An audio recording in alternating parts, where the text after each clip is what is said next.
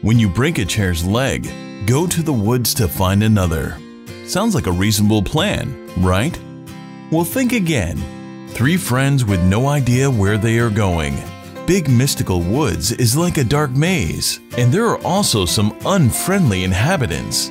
Luckily, young boy has one smart mother, and mother has a secret weapon Beagle Superhero and his incredible nose.